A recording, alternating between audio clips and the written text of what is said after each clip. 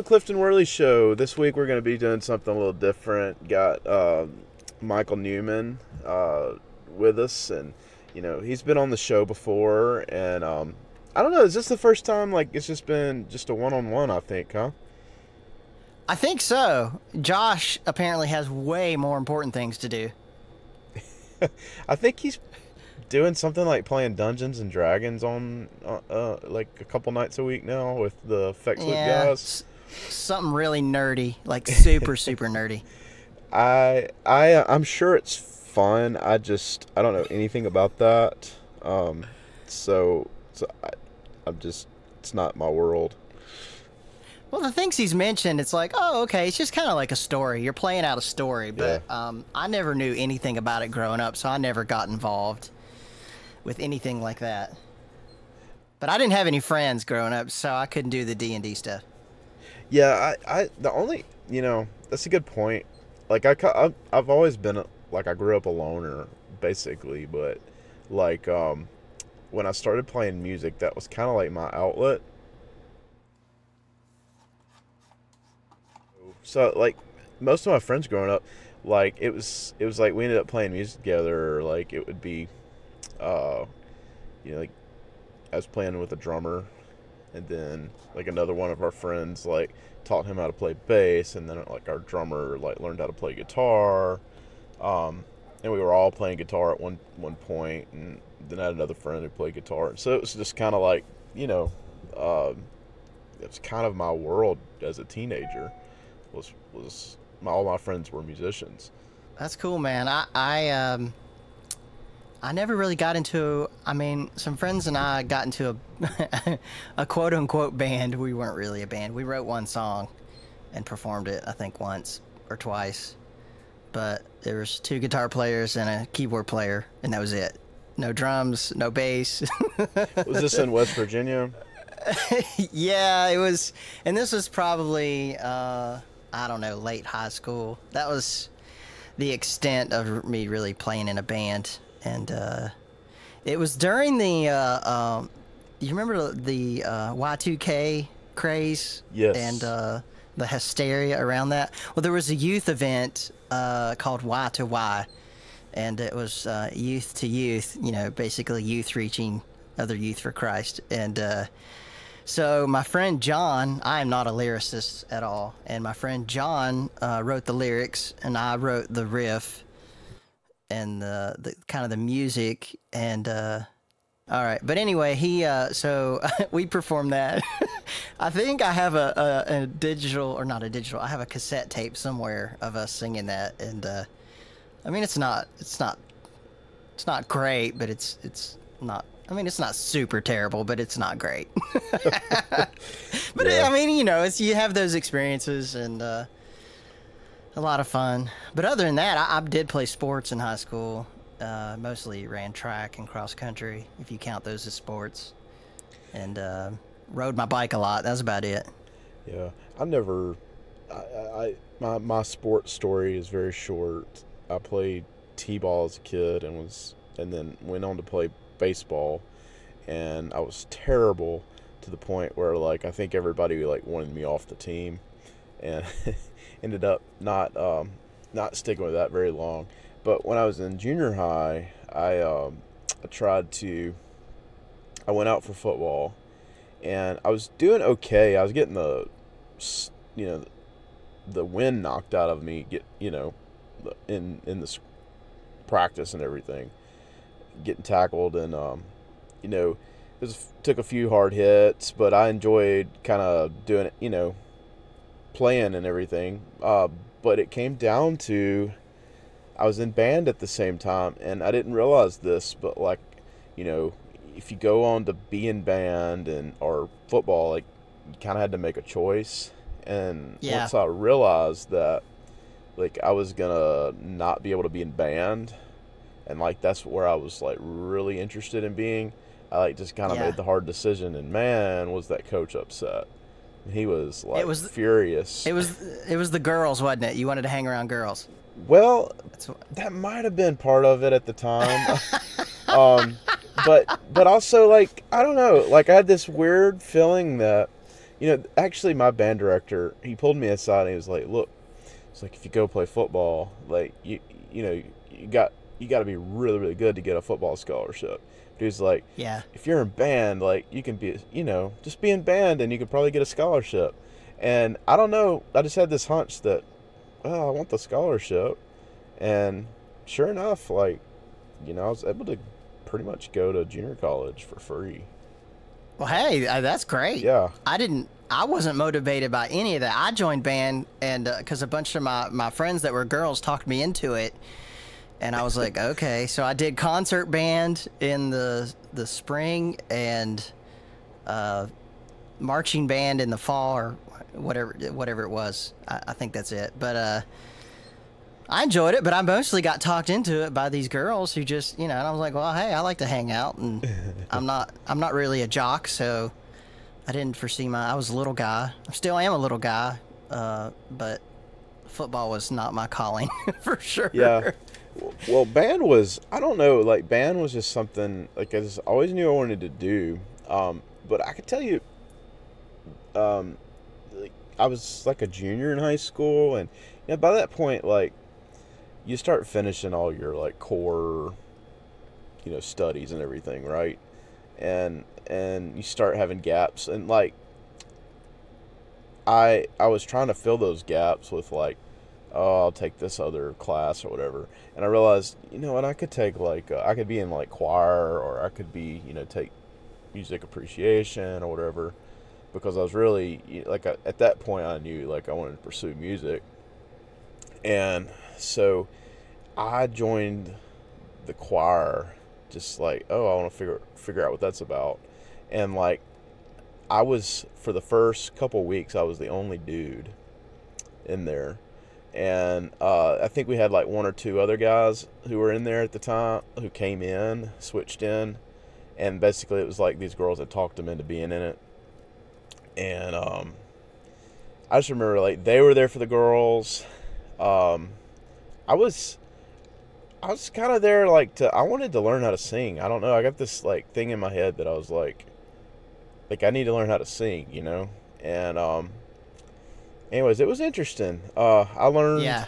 I learned uh, that like my voice, like the way I had thought, you know, kind of learned how to sing just naturally or whatever like I, there was a lot of things like bad habits I needed to stop and and um I, I had a this teacher she was she was fresh out of college and she um she was like very hard on me like you need to stop this you need to stop this and and um I don't know like uh after about 2 years of that like it really did stretch me um I think she. So you do you attribute that time as as really influencing how you sing now? You know, I didn't. I didn't realize it at the time, cause uh, I had kind of had this like love hate relationship with like my voice, because as a kid, like there was this kids choir that I was in in elementary school, and um had this teacher and she was really good and she encouraged me to go try out for like this all-state choir. And so i went like with this group of kids there was like five or six of us. And and granted like the five or six kids that i went with were like the in my town they had like this this baptist church that would like pick all these kids up like after school. And like they had this choir um, children's choir at the time. And every other kid besides myself like went and sung in that choir like after school. So they had like a lot more formal you know education than i did on, on voice and stuff but like she encouraged me to go try out and i went and i was the only one who like didn't pass the audition to be in the the uh, the state choir Oh man. and it really busted my chops at the time, you know. And I was Yeah. like, I, I kind of had this um, thing where like I had an attitude about it, like, well, I guess I won't sing again, you know. And like that's when at the point like where I like um went a different path and like you know, the time like I started getting interested in like harder music and stuff. And so by the What time wa- I, I was in high school, what's that?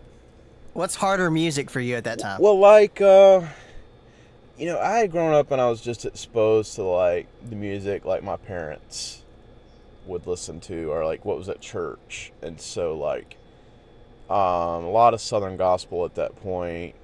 Um, maybe like Carmen and people like Ray Boltz were around. But like, yeah. Oh, yeah.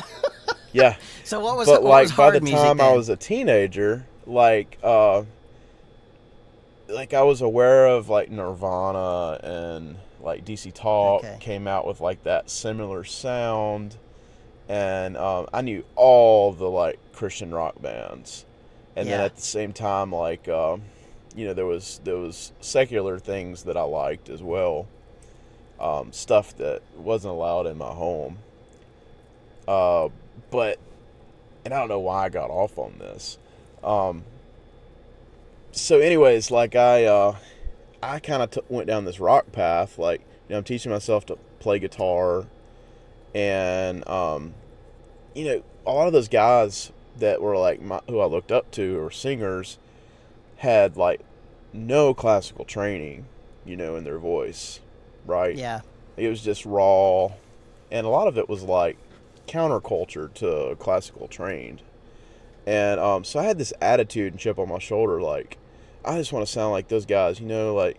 And at that time, like I really looked up to Bob Dylan and people like that, and Neil Young, and I was just like, uh, or Ronnie Van Zant from Lynyrd Skynyrd, you know, Yeah. like all those voices and I was just like, well they they have a cool sounding voice. They don't they didn't learn to sing that way, you know. And uh I learned that maybe you do have to like learn how to control your voice and how to breathe and how to you know open up the back of your throat while you're singing and sing from Yeah. your chest and um I don't know that was just like it was a big shift in in my singing at that point but um I think that at the time I didn't realize it or appreciate it. And so like it wasn't until years later when like I was trying to, you know, dabble in a little recording at home and stuff like that and I would send I would send people like uh, samples of, you know, this that and the other and I had some some one dude who uh, I was conversing back and forth about my music and stuff at the time. He was like, "Dude, um you're a little pitchy. You know, I just I want to be honest with you." And um Yeah. and I man, within like a year, I really that was like my challenge to push through and like get better. And Yeah. Um, I think the like the most helpful thing I remember being told was if I could uh, if I could kind of lift my eyebrows while I'm singing and like really think about what I'm singing, what I'm what's fixing to come out of my mouth singing and try to um, kind of shoot for it with like open up my eyebrows and stretch like I wouldn't be flat. And so um I don't know, like it just after you started doing it for a little while, like it just became second nature. It wasn't something you had to think about. And um, Yeah. it was it was helpful, but I've heard so many like rock singers say if you just um you know sing a lot as often as you can and sing live um like you'll find yourself getting better and better and that's that's what i attribute you know any ability that i have has just been developed by um doing it you know i'm, I'm doing it three or four times a week now singing Yeah. Well, it's like anything. You got to exercise it, Mhm. and uh, it's a muscle the voice.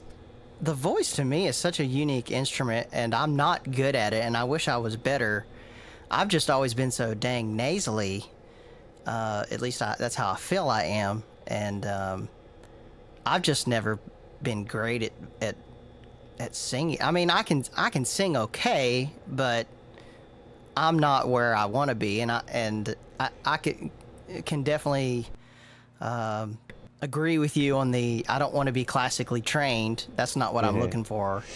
Um, I, I very much would rather sing like my rock and roll heroes. But uh, do you remember the uh, lead singer from Audio Adrenaline? That dude had to quit because he lost his voice. Oh, I didn't know that. Wow. Yeah, like they had. I mean, they moved on and got a new lead singer and everything because he completely lost his voice. And um so, but you know, I look at guys like Tom Petty who sang his whole career while he was alive, and and uh, you know, not that I want to sing exactly like Tom Petty, but I feel like I'm a little nasally like that. Um, so anyway, that the voice is a definitely a, a, a unique instrument that takes some unique practice and and definitely uh, well like anything somebody who knows what they're doing to to push you in the right direction and tell you oh don't do that. That's not good for your voice or yeah pursue that. You're doing the right thing there. And i wish josh was here to to get in on this conversation because i've actually learned a lot from josh just talking to him and some of the resources he he's pointed me to. Um, and uh, but yeah, you definitely got to practice. And uh, I feel like I lose my voice if I sing any amount of time, even like on a Sunday morning, um, singing at church these hymns that are not exactly in my range. I feel like my voice is exhausted after four songs, Yeah. and and you know I'm like, dang it, why why am I exhausted already? And I guess part of it is I'm singing wrong. Yeah, that was one of the things that I had to learn. Um, I, it, it was it was something that I learned after, you know, pushing my voice too hard, was finding the right keys, and I think one of the things eh, this is this is very like worship related centric. This is not performance related, but I always um, I learned that you could not sing to 100% of your ability all the time and nor should you. Like if you're singing, performing, whatever, um, you have to dial it back a little bit if you want to sustain. And so I Yeah. tried to find keys that I uh, was comfortable in, that I felt like I could do well in, and it wasn't like at the extreme top of my ability. Um, you know, some of like the national touring like uh, Christian contemporary acts that like I've seen you go and you listen to them and like you can tell like they're trying to sing in keys that are two to three steps above what normally people would do.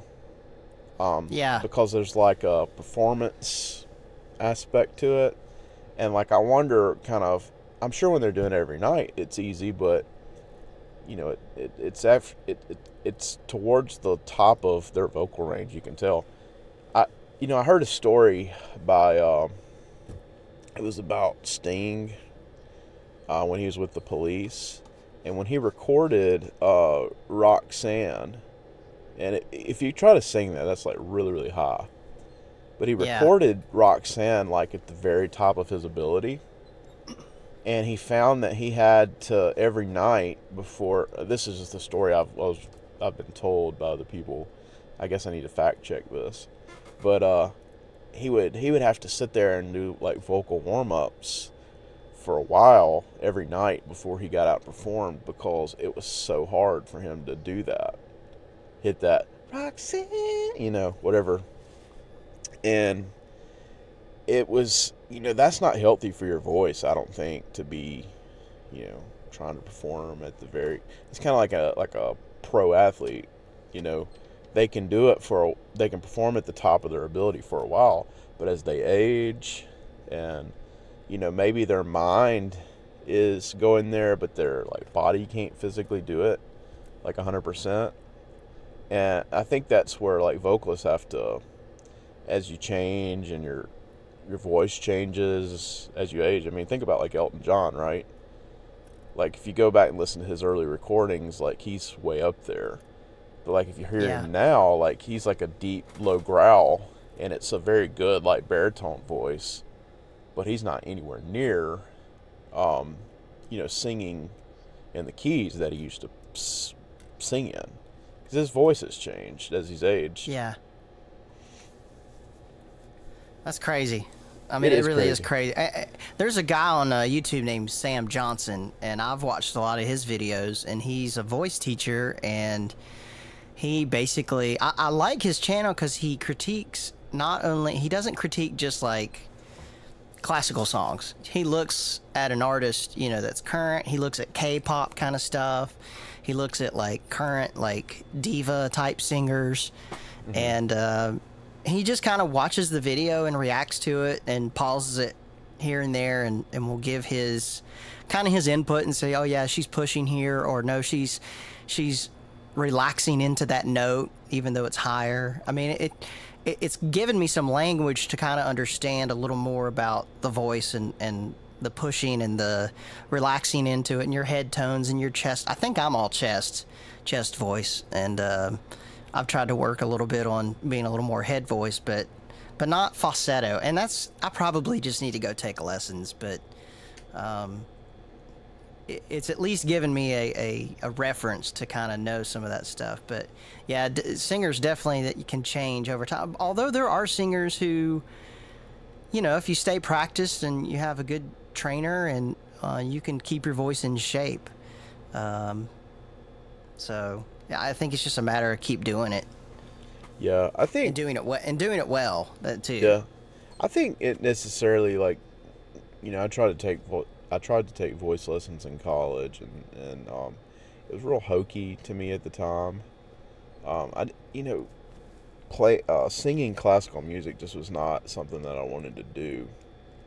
Um, but but there there was technique there. But I think what did it for me is like having like like once I was open to criticism and like you know it wasn't like getting a grade for it like once I was open to constructive criticism I think that's like what did it for me like you know the because I want to get better as a musician and you know singer and all those aspects. Like I'm always looking for a way to up my game a little bit. And um, I think it's like finding those people who you know um, have the experience who can kind of uh, coach you along a little bit, not necessarily um, take the lessons. Maybe I I think that would like apply to guitar playing too. What do you think? Oh, absolutely, and and sometimes it's it's just a little bit of guidance, and um, sometimes just knowing, oh, okay, I am doing the right or the right thing here, or oh no, I'm I'm really messing myself up by doing this technique. Um, I think that's just part of it. Just just a little bit of know-how of somebody who's been there and done that, and um, somebody who can listen to you and and say, you know, just give you good feedback and critique.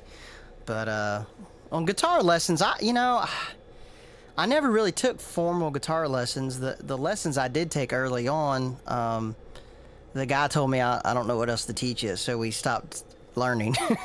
so I was like, okay, and I wasn't even good then. I just uh, you know, um, but he did give me a, a good base to start. Well, I did take a class in college, a jazz guitar class. That didn't that went okay, but it I don't remember a whole lot of it, but. I don't know guitar too. That's one of those things where, um, well, like this past year, I, I've celebrated one year playing with the church that I've been playing at, and um, just finished up a whole year. And I, I feel like I've grown so much as a player, uh, just because I had to. You know, I, I have to learn these songs, and uh, not that I'm a, a great guitar player, but I, I feel like I'm I'm way ahead of the game from where I was last year uh, and even just sitting down and learning a new song, it, it's not as long for me to learn something. I can pick it up a little quicker at least. So Yeah, uh, that that's that's been something, and probably singing is the same way. yeah. I think um, it, it's like anything that you like want to sell at. It takes like immersing yourself in it. Um, I mean, education is fine, and um, you know, having coaches is fine. But like, I think like what you what you said about playing a year at your church and seeing some growth, like, it's when you, I think, for most like guitar players, it's like being under the gun a little bit it's that pressure that I need to do this so I can, you know, do my job. Um, I think that helps us grow as as players. Um, it, you know, there's like a season where I was trying to learn because I've always wanted to like be a killer key player, and um, I just never, as much as I try, like guitar just comes so much more natural to me. You know, I've just spent so much more time on it, and I was, I, you know, I was talking to some keys players, and and it's like I want to, I want to tear up a Hammond B3 like nobody's business.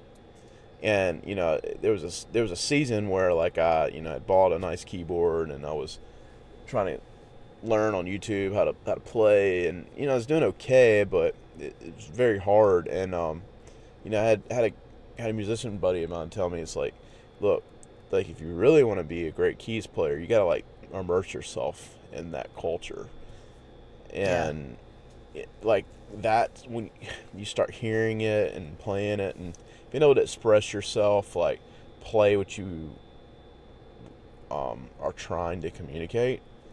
Um, and it's just so much easier. I made a decision as a musician that I could stop being like a mediocre guitar player and try to be better or I could um, try to invest it in keys. And like to me, like I've just always struggled with with you know the piano and, and keys and stuff. Um, so guitar is kind of where I chose to invest my time and my energy and and really you know I sold off the keyboards I had to finally get nice guitar gear and I, I you know it's kind of like the thing of being like a, the jack of all trades but na- master of none. And that's that's the point where I like came as a musician. I was like I got to you know like pick something and kind of just see it through. And and um I don't know it's kind of it's kind of interesting because like right now the last few weeks like with the college uh, ministry band um, they don't have a lot of um, like they have the one guy who's leading on guitar on acoustic guitar and we've got a like a violin player and a guy playing like a cajon because we're in a really small space. We can't do a drum kit. And i've had to play keys um, with these guys just to kind of add a little bit of some bass um, and rhythm to it. Yeah. and um, i'm struggling man i'm playing in keys like b and b flat and e flat oh my and- gosh. and yeah. um, I'm having to really revert You back to some.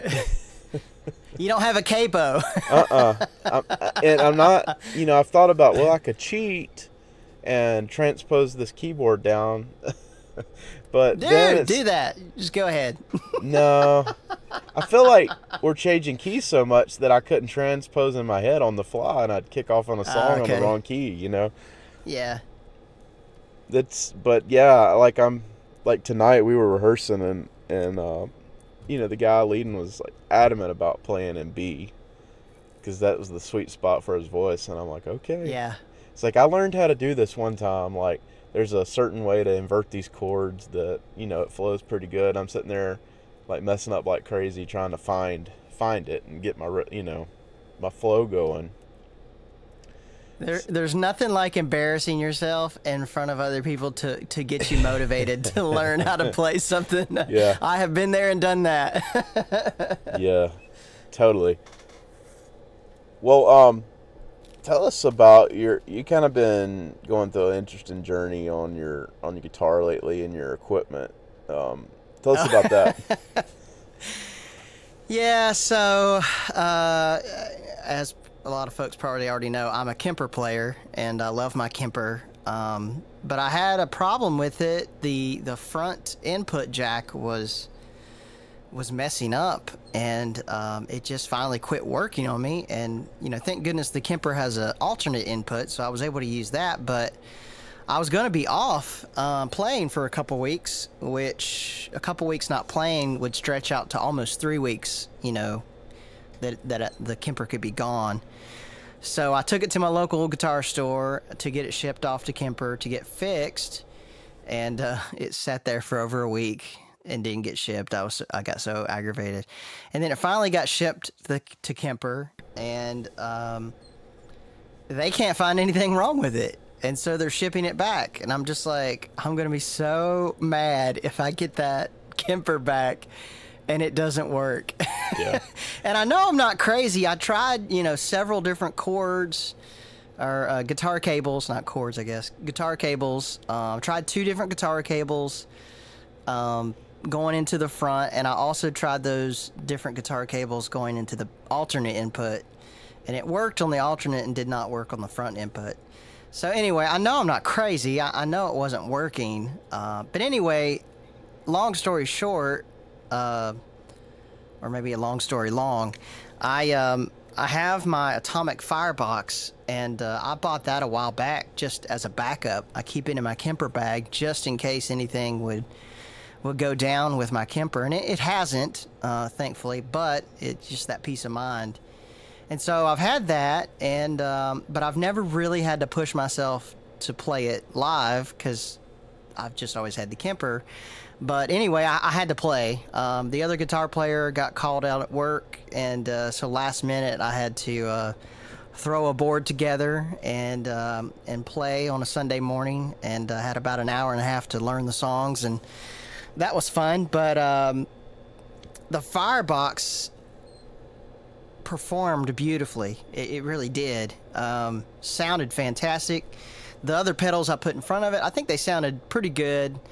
Um, but I really missed my Kemper. I, I loved being able to hit one button on that Kemper and it brings up, you know, all my delay settings where I need them to be, all the uh, the drives, and it just sets it up for the song uh, versus having to do some fancy footwork and and retap in the BPMs of the the uh, delay pedal and and change the mix knob or the you know the feedback knob on it, and uh, I don't know, it just felt like a lot more work with the pedal board versus just using the Kemper. And I, I think I'm just, I'm kind of a one unit guy. I like being able to, to press one button and it, it just kind of goes to where I need. Plus, the Kemper, I can pull up songs that I played six months ago because I've saved those performances. Um, but anyway, it stretched me as a player to, to, to get this board together and and because uh, I've never actually really had to do that. I've never had to actually put a board together. I've always just kind of had the Kemper, and um, and the Kemper kind of taught me some things as far as you know workflow and and where I want my reverbs and where I want my delays and um, sometimes just seeing how other people set things up help helps you find what you're looking for too. So yeah. Anyway, if you're if anybody's looking for uh, a backup unit, I, I, highly recommend that that firebox, the Ato- atomic firebox. It's it's super small. It's basically the size of um, you know, like the uh, Earthquaker devices Avalanche, kind of that size. Mm-hmm. And and it does a lot. It's not a perfect box um, by itself, but it it can cover a lot of ground in such a tiny box. Uh, the only thing I've been tempted by lately is the uh, the Line Six uh, Stomp, but it's bigger, so I don't know if it would fit in my Kemper bag as a backup very easily. So yeah. you know, I don't know. Well, I have a question about the amplifier firebox. Uh, does it? I think I read somewhere that it does like impulse responses. Is that correct? Yes, you Correct, and you can you can load your own impulse responses, and and I highly recommend it. Actually, I, I think um, you can make the unit sound even better by by uh, loading some third party. In fact, I, I have loaded uh, third party impulse responses into it, and um, I think it it's just one of those things where you can go through a bunch of cabinets and speakers and and find the exact sound that you're looking for. Yeah, well is because maybe clear that up for some of us who don't play in that world. Um, is an impulse response kind of like you know one time like uh, when I was staying at the NAMM house with uh, Jonathan Diaz was there with his Kemper, and he tried to profile uh, one of the amps I had at the time, um, and it didn't work out for some whatever reason. but is that what an impulse response is? Is like the way that's recorded? Well, firstly, Diaz doesn't know what he's doing, so bless his heart. No, the Kemper's a little different. Um, it, the way it works, from my understanding, is you put a microphone in in front of the amp or in front of the speaker in the you know the amp that you're trying to uh, profile, and you run that into the Kemper, and then out of the Kemper, there's um, you run it back to the input of the uh, of the amp, and the Kemper basically captures the sound of the amp and the sound of the speaker together. So it it's kind of a marriage between the two, and the Kemper somehow and it, it's not always perfect from my understanding, but somehow marries the two. But you can also take out the cab if you want, or use that cab for another thing. The impulse responses are basically just just capturing the response of the speaker. Yeah. And and this is a little above my pay grade. I I um I, I won't claim to be an expert on this, but well, uh, let's say for instance, in the Kemper, you can also do direct profiles. So you can take a, a, a head of a, an amp and just profile that. So there's no speaker included, and it sounds terrible by itself. But once you add an impulse response to that, it sounds like an amp. So um, Kemper does it a little different. Uh, and I, I don't even think they would call them impulse responses. In fact, to use an impulse response, like a third party impulse response, on the Kemper, you actually have to download. Uh, Kemper has a a certain application that you have to download, and it has to convert it from the wave file that an impulse response would come as into a Kemper file that would actually be able to be loaded onto the Kemper. From my understanding, I've, I've actually never done that. Yeah. Well, I I think this was the kind of a, a point in my journey recently. Uh, you know, I, I've told you a lot about this, you and, and Josh and some of the guys who follow my gear journey on the group about you know picking up the Princeton uh, a few months back, and um, I tried to play that in church one day in practice, and you know like it was just too loud on stage. So I went through a little bit of a journey where, well, I'm gonna mic it off stage, and I was I was not loving that option because even then, like, um, you could still because of how our sanctuary is and everything, like you could still hear it. Um, probably not with the whole band going and everything going, it probably wouldn't be evident, but it, it did throw a lot of noise out, you know, to crank it like it should be. And so I decided to run my guitar into an interface and play like some of the amp models in GarageBand. And I was, besides like having some digital artifacts from the computer, I think like some hum that was in there, and it was just a sound that was very like computerish. Um, but I don't think it had anything to do with the modeling. It was it was like something that was being interjected into the sound, uh, Yeah. some kind of interference. Um, it sounded like pretty on point. I mean, if I if I took not the sound of my guitar amp in the room sound, but if I took and compared it side by side, like with say that that amp off in a room with a mic on it through front of house versus you know the GarageBand amplifier of say like a black face with a 10 inch speaker like my princeton it sounded almost spot on playing the you know the GarageBand amps Yeah. And I didn't like that workflow because I don't want to, you know, when I go somewhere, I don't want to bring my laptop and hook up an interface and play that way. Yeah. Like that's just Yeah. not my idea of a good time.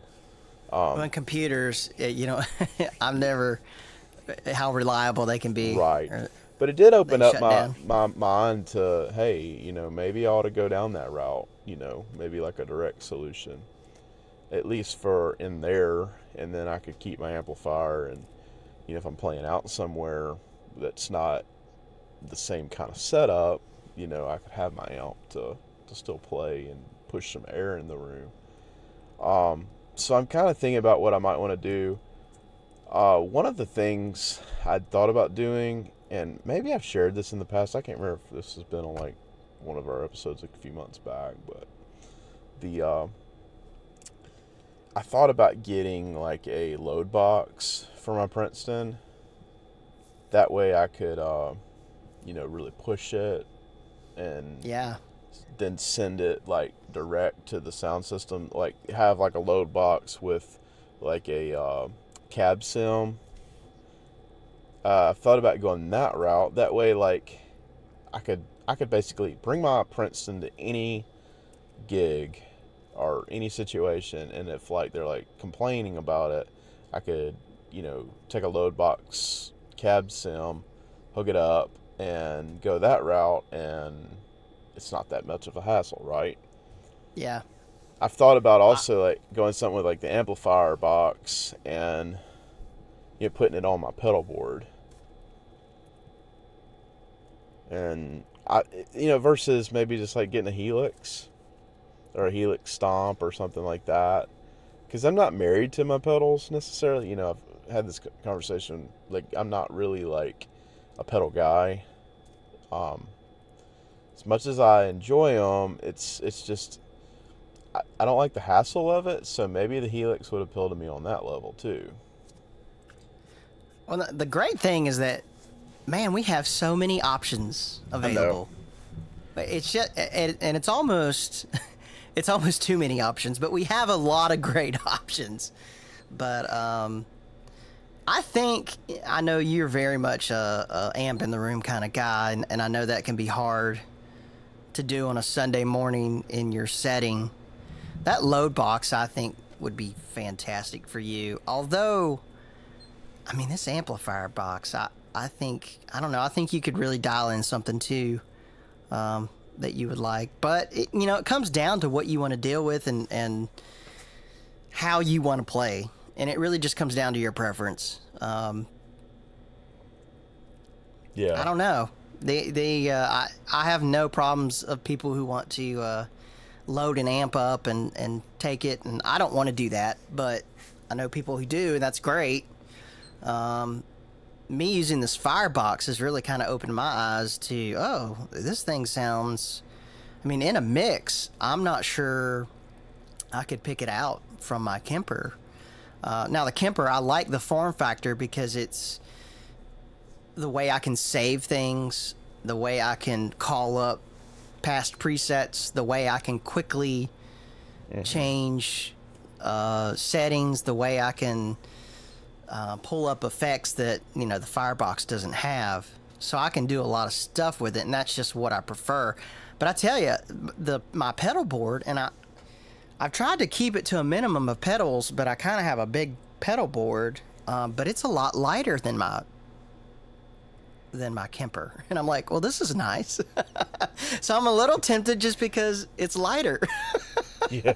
if I could, if I could just get by with a, a pedal board about half this size, uh, and carry that, like I said, I like the Kemper, and, and I know a lot of guys would call me crazy who have gone from huge amps to the Kemper, and they feel the Kemper's a lot lighter. But to me, I'm just like, I'm kind of that old man. I'm going to end up having a unit that I shove in the pocket of my gig bag and go that way. I think eventually, uh, just because, you know, I'm in my 30s and we're old and our back hurts and, you know, Yeah. it's not it's not easy getting older. Well, I know and one of the carrying stuff.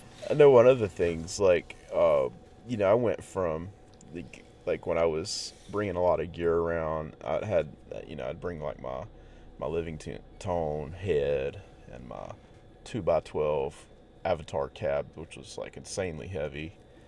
and then like I would, I, you know, I'd bring my telly in like a hard shell case, and then my pedal board is like massive. I don't know if I've showed that to you, but like it's way bigger than it's got way more real estate than I need.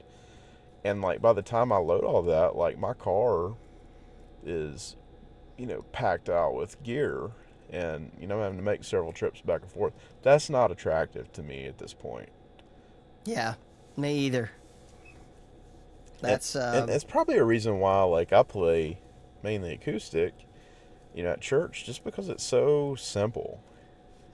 Um, yeah, and you know, like if I'm, you know, grabbing a guitar and going to play at the college ministry or going out somewhere, like it's just a lot easier for me to grab my acoustic and go direct than it is to be an electric guitar player. Even though I love it, it's just it's it's it's a whole lot more to think about when I'm trying to fill that role as a you know electric guitar player. yeah. I, I, I on an acoustic, I always do overkill. I take my Kemper anyway. You're playing the acoustic It's- models through it. No, no, I'm just playing uh, my acoustic into it, and it's got I got a um, there's a free Neve profile on the Rig Exchange um, Okay. through Kemper, the Kemper community, and I've just set it up to to EQ the way I want it, and a touch of reverb that I want, and um, and I just I like it. I also play my banjo through it uh, when I have to play the banjo, so. I don't know. It's just fun, so I kind of overdo it when it comes to that. Oh, I got a quick story for you. so my Kemper's out, and I had to play banjo not not this past Sunday, but Sunday before last, and so they they put a microphone up uh, for me to play into, and they pretty much left that mic live.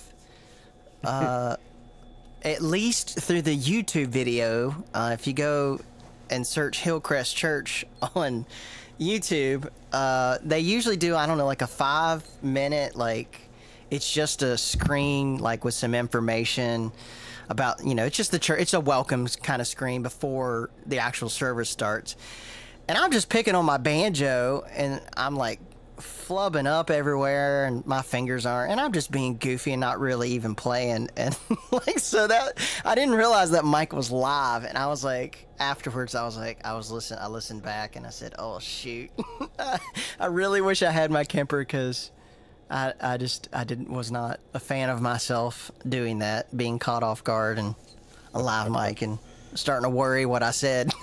Yeah. That'd be that's something interesting. You know, talking about kind of a, a flub or whatever. Um, are there are there any like uh, you got any horror stories that you might want to share that's happened in the last year? Uh, well, a lot of times, and I'm I'm a little more on it now, but um, I was playing at a different church actually, and that church, you were pretty much required to show up and not have any sheet music. You you were just gonna be on stage and and you know be engaged and not looking down at papers.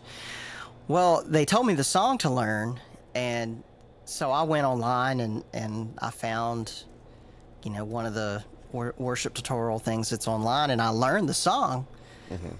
thankfully we caught this in practice but we started the song and i learned the song in a completely different key they were uh, a half a step down and my brain like we stopped and I realized what was going on, and my brain just like the gears I could just hear like trying to start again, but I it, it doesn't. It, it would almost better to move it down like a whole step or two steps or something versus a half a step. So one fret. My brain, you know, I, I gotten used to. Oh, my pinky goes on the dot, you know, on Yeah. on the file, you know, the fret marker. And now it's not on the fret marker, but I've learned it and played it so many times on the fret marker. My brain is just like fried because I, you know, you know, and I, I've had a few uh, um, mishaps here and there. I, the worship pastor is very uh, that I play with is very encouraging. Uh, he doesn't say a whole lot. He'll, you know, occasionally he'll say, "Hey, man, sounded great this morning," but uh, every once in a while he'll send me a clip and he'll say, uh, "What happened here?"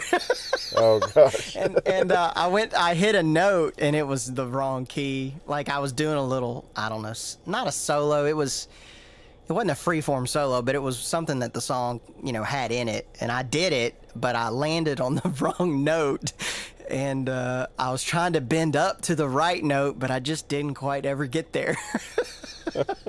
so yeah, I mean, you have those things. Uh, and uh, he always tells us to smile more. And uh, I told him that if I smile, I'll, I'll I'll hit more wrong notes. So would you rather me hit more good notes, or would you rather me smile? yeah. so and he's like, uh, hit the right notes.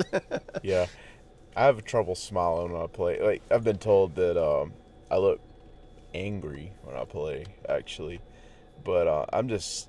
I think it's. I think it's like depending on like how comfortable I am. If I'm really concentrating, like I'm probably Yeah. got a pretty angry look on my face because I'm really trying to think, you know, and um, I don't know. You know, it could be the other extreme. Like this last week, um, I've gotten to where like some of the songs, you know, I struggle, struggle, struggle with lyrics. Yeah, And- I was just thinking you have to rem- memorize all the lyrics, Yeah, that, let alone all the chords. chord progression, like chord progressions. Uh, if I lock in on something like that, and if I'm not like the lead instrument, um, you know, you can kind of just hang out harmony wise and you know do like a certain movement. You know, that's easy. But like when it comes to lyrics, like I am terrible at lyrics, and yet like right now, like there's about there's a list of probably like a dozen songs that I do that I probably if if I didn't have that crutch, I could probably sing them, you know, like off the top of my head. But I always have that safety blanket, like my iPad's right there mounted on my mount, my mic stand, just just in case, like I have a freak out moment, or if I need to jump to something in a spontaneous moment, like oh, I need to go to this song or whatever. And so, this Sunday, I this last Sunday, I was playing a mashup of No Longer Slaves, Surrounded, and I went from Surrounded, what I thought was like Bethel's Holy Spirit. It kicked off because Holy Spirit and the way I do it and and No Longer Slaves, like the way I arra- have arranged it, like they sound very similar in the same chord structure. Because I'm like playing this like major seventh that you don't hear in the recording, but it's just a way like we do it with our band. Yeah, And um, I was kicking off into what I thought was the first verse of Holy Spirit, and I wasn't looking at my iPad. And I kid you not, I kicked off into the first verse of um, No Longer Slaves again. After I had like done that song, moved on to another song, and my band. And the only the only reason I knew why is like I looked over and our keys player or our piano player, he's not like my usual Sunday morning one and he and the bass player were like wigging out over there, like shuffling.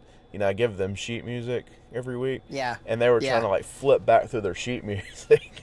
and I was like, "Oh man, I know what I did," and uh, I just I committed to it and acted like it was supposed to be done that way. And so like I literally I finished that verse out and then like I kicked into the first verse of Holy Spirit. I was so just like I can't believe I did that. like where's my head Hey, but but you pulled it off. I mean, and that's that's part of the thing of learning to to do it. it. Is just you know just do, I, don't act like there's a problem. Just keep moving. yeah. Um, Yeah, you can. It- usually, I'm not like that, but I don't know, man. It was, it was like, it all starts like running together, and that's that's something that like when I've played electric for other people, a lot of the riffs and stuff, and like you know the modern praise and worship music, like it's hard for me to like differentiate some of those melodies and riffs and stuff to that song and I'll man, I'll kick off playing. It's like tonight in practice. Um, Your Love Awakens Me, that opening riff, if I'm not careful, like I want to like kick off into um, Lion and the Lamb because it's got the Oh. same like movement and like the you could you could mash those songs up together and they would flow because like they basically have the same chord progression and the licks and it, it, like a lot of it sounds so similar. It's hard for me to, you know, if unless like I'm really familiar with it, like it all just kind of runs together in a blur to me. Yeah. So hats off tell- to you yeah. guys like like you who, you know, working through and learning all these licks and playing them every week because it's hard to remember this one goes here and this one goes in this song and you know it's not like you're playing in a top 40 cover band where the songs are you know like heavy radio play and like Yeah. everybody knows it and it's got a signature lick like a lot of this new stuff you know and the nature of the movement and everything the way it you're always trying to do new new material and a lot of it if you're not careful because it's so stylistic it starts all running together and the way it sounds and there's several songs that sound a lot alike at the same time and it's it's hard It is amazing how much similarities there are, but the, there's also a lot of differences too. And and um, I know some guys who, um, I mean, they're just good off the cuff. They can just pick up a riff and run with it. And I've added to my vocabulary for sure, um, but I'm not. I'm not there yet, if that makes sense. I'm not.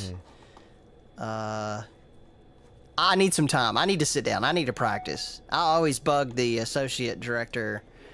Hey, can you send me? They a lot of times they'll send me the uh, um, the electric guitar track. So the the main track is kind of below, and you mostly hear the the main guitar track. And then I have access to a couple um, uh, tutorials online to learn some songs and I, I really just need to sit down and learn and what really throws me off is when a riff doesn't start on one when it starts on like the and of a two or the and of a or the uh you know there's the uh, one e and a two e you know if it starts on the e or the uh and i'm like what is going on so i'll start a riff and just kind of hit try to get back to the one but I, I can I can point to some very uh, prominent riffs that I've messed up because they didn't start on the one and they started on the uh, uh, you know an odd upbeat or downbeat of a of the time signature. Yeah, yeah. So- I, I find that that um like there's this new song. Well, I've been doing Surrounded. It uh, it's by like this group called Upper Room, and so like I started doing it in like the form I had heard it, and basically it's like a song concept, like it's just a chorus and a bridge, and um. Anyways, they they've recently come out with like they, they went back and wrote these verses to the song. And like that version is hard for me to tackle because like I, I so like got away of how I was doing that like song and how I approached it. And now like the time the timing of it of this the way the new song is it's like different and I can't play it the same. Uh, uh, and so, like, the verse starts off on like a bum, bum, bum, bum, bum, and the and the lyrics like aren't like the phrasing of it's not like the way I would approach it, but like if I don't do it the way they do it, like I can't, you know, get the the syllables in and everything. It's just like really mentally stretching me right now. Like, it's like, uh, why did they have to do this? Like, this song is so simple, and then like, it's it's kind of like, I don't want to I don't want to rag on, but like, some of the songs, like the way they're written, it's like, you're not thinking about, you're not thinking about how, if you want this to be a universally like sung song, like writing it in such a way that it's easy and phrasing, you know. Yeah, yeah. It's like they're they're being so artistic about it that they don't think about an audience singing it. Yeah, yeah. Or maybe it's just Yeah. uh, like a sophomore-ish approach to it, you know, rather than like a real seasoned. Um, like I know he gets made fun of a lot, but like Chris Tomlin, the dude knows how to Yeah. write a song in a way like that. Oh, he does. Anybody could see it He just it. writes it. He writes it in a in a key that's way too high. well, and, and I I don't know. Maybe he's not the greatest example because like lately he's been like taking a lot of other people's songs and you know performing that and making them big and um, but like he's got a he's got a certain brand and like way he does like if it if you know it's one of his songs like I can almost guarantee it's gonna be a hit yeah, because like it's just the way like the songs he picks or the songs he writes like they're so like universal. yeah, yeah. And I know worship music gets made fun of a lot for repeating itself and those kind of things, but um, I don't know. I, I think there's a fine line between writing a good song and a corny song and a song that's good and and interesting but also accessible i don't know i, I think there's a fine art to writing those songs and some do better than others but i don't know Yeah. i it- uh I know it's like really, really important though, like to make sure uh, you're picking out songs that like have a life to them of their own and people can latch onto it. Um, I used to. This is something I struggled with early on. Was like I would pick songs that oh I think that sounds cool. You know, and like that doesn't necessarily resonate with everybody. So like when when when you start to identify, hey, yeah, this is song I think I could see them doing. yeah Um, and, and some of that's knowing your audience and your congregation It is. I have every once in a while I I sing at um I play guitar at a bigger church, but my the church I'm actually a member of is a very small small country church. And um sometimes I play there. I sing and play there. I do the special music sometimes. And I always struggle to pick out a song. Number one, the the the, the current kind of praise and worship songs that I like are either hard to sing or they don't sound good with just an acoustic. Like you need those drums or the backbeat or you need something in addition to just an acoustic guitar.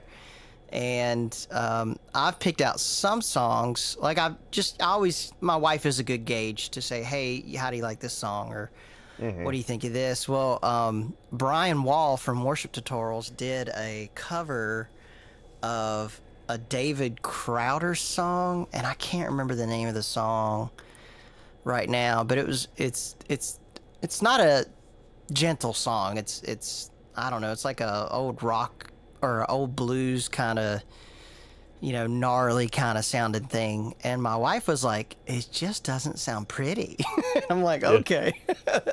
so it, it may I like it. I dig it. I think it's cool. It's it's gnarly, but uh, it may not be the best thing to sing it for a congregation of of an uh, older generation. So. Um, so yeah, part of just knowing your audience, and sometimes just bouncing it off of uh, your non-musical family and friends is is a good way to, you know, those who aren't necessarily musicians, but you know, are in the audience and can sing it. Yeah. So That's a good point. I think like I, I've come to the point where like when somebody says, "Oh, that's a good song," like I almost want to identify why did you like that song?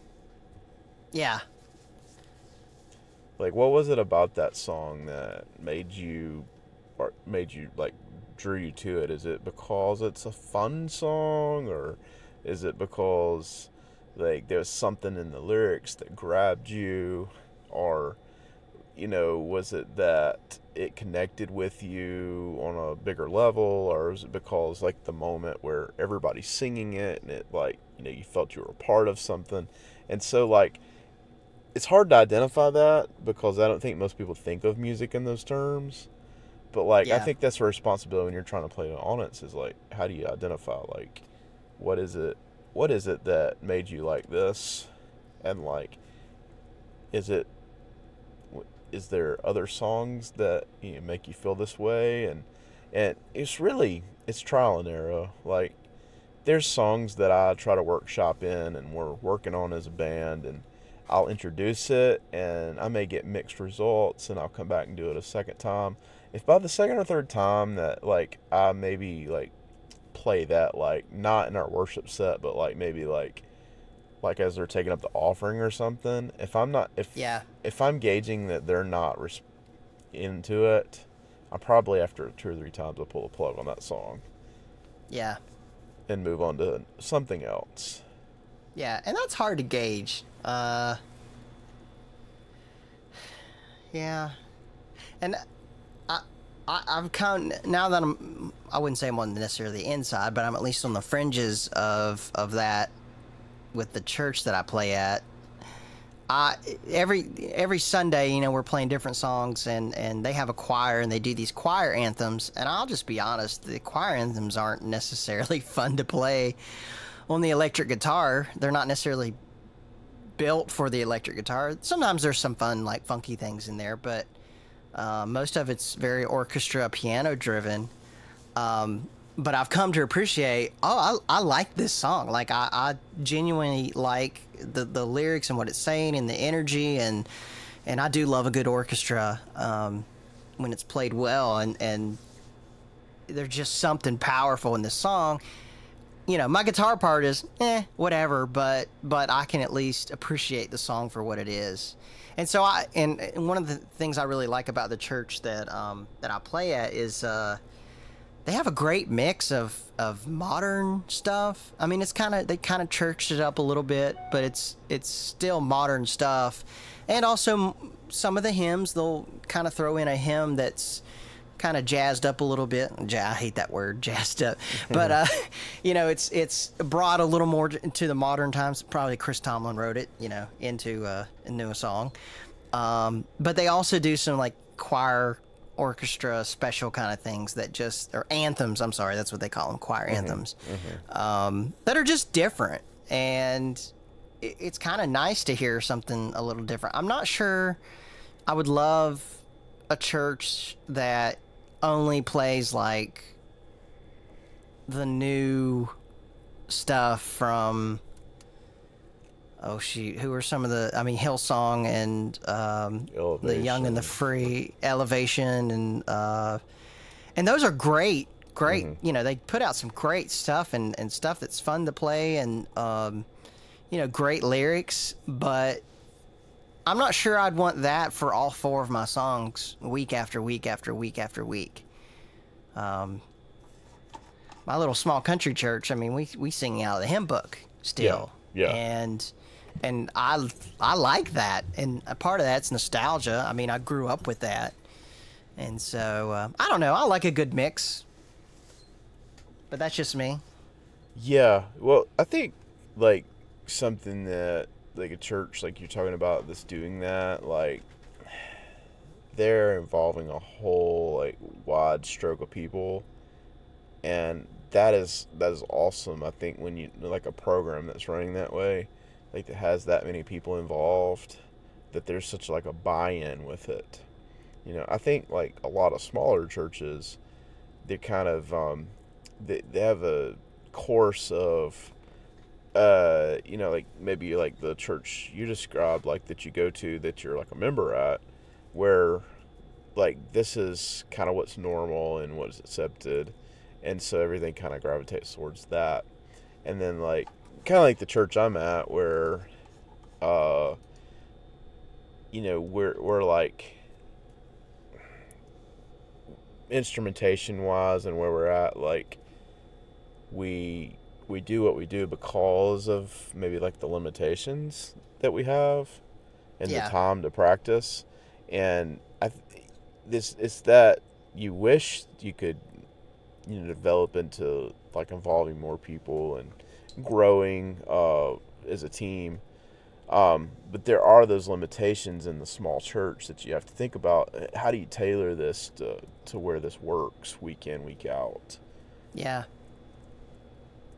So I, it is so much like it's interesting, like, um, like I could do what I'm doing, and like there's something that'd be well received. But like if I go somewhere else and play, like you never know what it is that what people gravitate towards, and sometimes you kind of have to like hit from different angles to see, okay, this is what this is what the people gravitate towards here at XYZ, you know.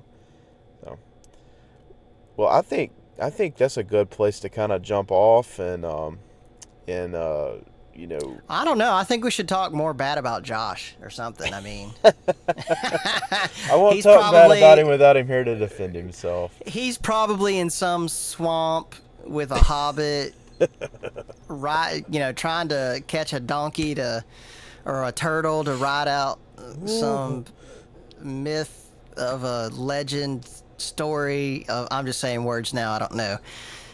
Who knows Yeah. what he's doing? I'm We're- sure we'll find out tonight or tomorrow. Well, I think that uh we'll just show him that we had such a good time that we'll make him uh make him you know mad that he didn't uh wasn't part of it, right? We're talking. I don't know. I think I might join them next time. I'm just, Well, I'm I think joking. I can ain't get away. I think I can get away at home with recording a podcast on a Monday night. But Yeah. going and playing four hours of uh, D and D, I don't think that would fly at my house. Yeah, yeah, me either. I'm up past my bedtime, so you know I don't think I could I could do the hours that they do on those things. Yeah. Well, yeah. Well, we'll jump off of that, and um, I just, uh, you know, hey, this is a little different than what we normally do, uh, just kind of hanging out. But you know, we we discussed a lot of stuff, and uh, just want to invite, you know, if you're listening to be part of the discussion. Let us know what you think, and um, uh, you know, just love to get a discussion going on in the Facebook group and Clifton Worley Show. You can find us there, and would love to hear what you guys think about maybe something we said. And so um, we will uh, just join the discussion, and we'll talk to you guys soon. Ah.